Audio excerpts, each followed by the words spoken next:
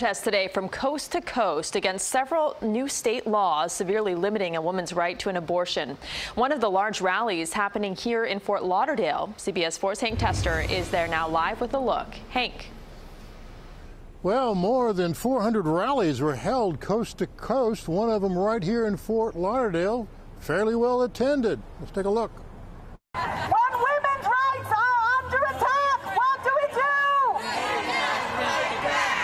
A spirited pro-choice rally in Fort Lauderdale. Over 150 show up at 5 in the afternoon. I definitely think there's an attack on women. What brought this crowd out?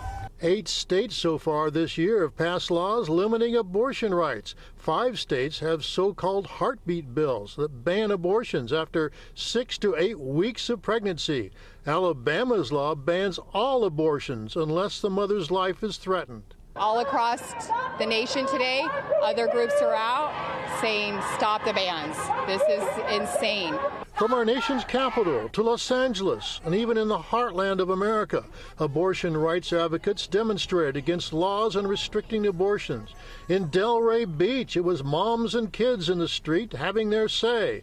The same in Fort Lauderdale. I'm here because my rights matter. My body, it, it's my choice to choose what I want to do with, that no one else can make that choice for me.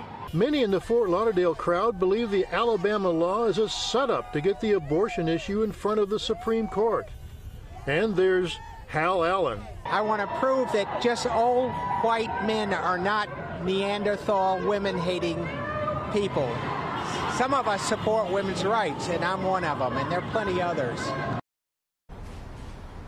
Well, there's a brand new CBS News poll out tonight. 67% of Americans want the Supreme Court to keep Roe versus Wade as it is. 28% want it overturned. I'm Hank Tester, CBS 4 News Tonight.